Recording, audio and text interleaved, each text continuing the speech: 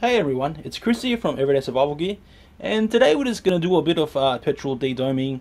Uh, basically, I find petrol the best. I haven't yet tried the chemical dedoming where they heat it up, because to me it sounds a bit, um, I would say, kind of dangerous. I don't really have any um, non-gas heating elements. Either my house is all gas, and um, hmm, I was going to say you could try the barbecue, but uh, the barbecue is also gas. So to me, um, there's only two methods that I prefer to use. That's hot dedoming, which is fairly quick, uh, but it also still runs the risk of um, stuffing up the uh, bonding wires, and also uh, petrol dedoming. Um, you know, you can slice the dome off, which I have done uh, successfully a few times, but that is still a little bit riskier. And then it's really hard to get down all the way to the bottom. So if you want a pure throw heavy light, um, it's kind of hard to get down to the bottom. So what we're going to do today is petrol dedoming. Um, basically, you can take the LED stock as it is and throw it in some petrol if that's what you want to do. Um, I have actually just kind of sliced the bottom of the dome in a few places because I kind of find that these XPG2s are a little bit hard to dedome still. So you can see I just got little slices here and there. Uh, that'll help the petrol penetrate better.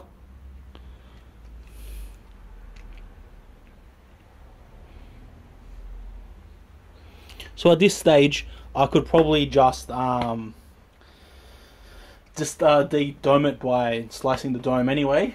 But yes, we will not be doing that today. I just want to double check that it still works. I just pulled it out of another light.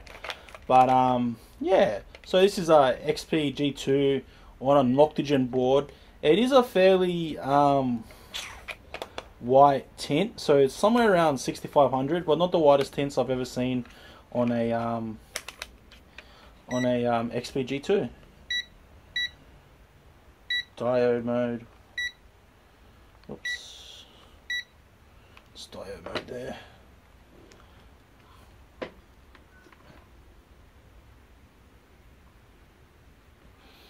Can't see which one's which. So we can see it still works okay? Uh, you can see the dome is already a little bit morphed. Kind of looks a little bit funny. Hopefully it's okay. Um yeah. For a second there it kind of looked like the bonding wires were um, kind of sliced but um it's actually just where I sliced it. It kind of looks a little bit funny.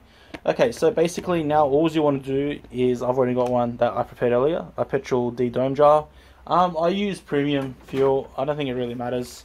Uh, premium fuel does have the higher octane, which I don't think matters either. But for me, that's just what I have, so that's what I use.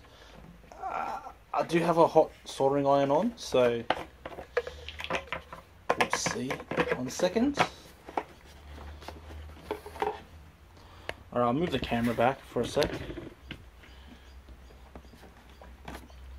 You don't need too much petrol.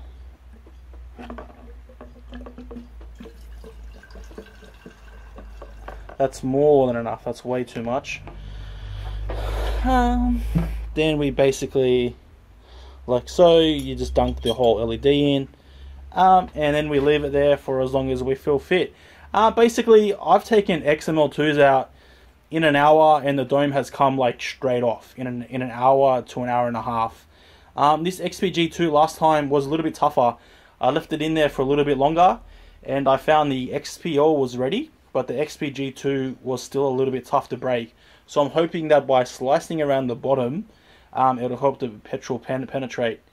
Um, you know, there's pros and cons to everything. I think if you kind of hot de-dome it, or you slice the de-dome, or you slice the dome, sorry, that um, it'll kind of um, leave you a cleaner beam.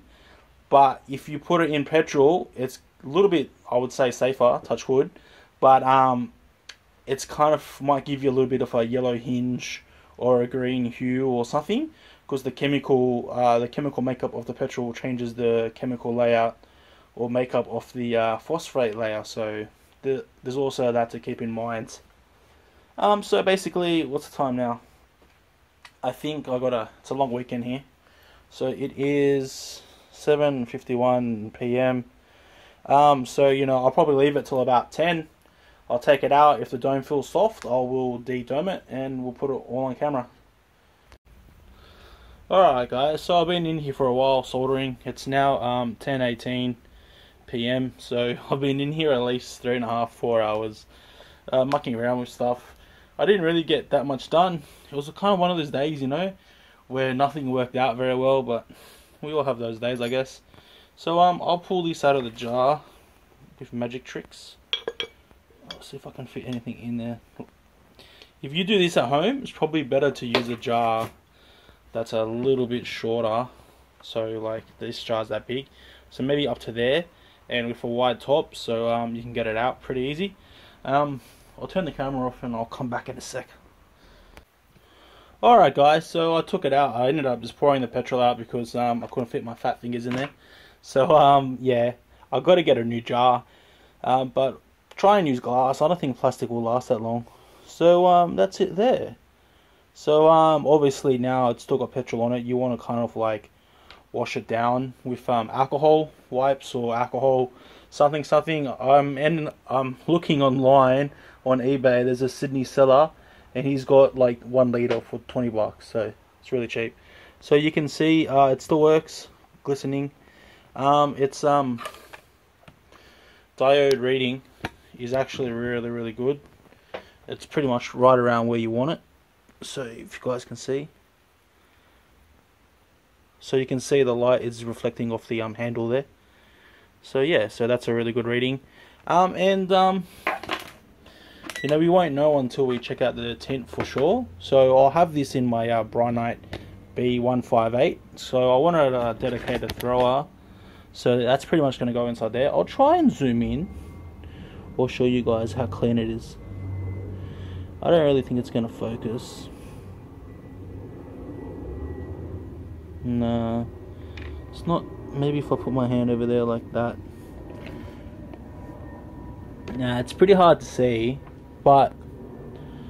Like, it is a really, really clean job. There was no more silicon to take off. So there was no more dome to take off. It came off perfectly clean. Uh, without having to remove anything, which is what I should say. So you can see right now that there's no dome on there if I go by this angle, and there's no leftover dome on the sides um, that just fell off uh, in the petrol. So by slicing it, I guess it does kind of help you.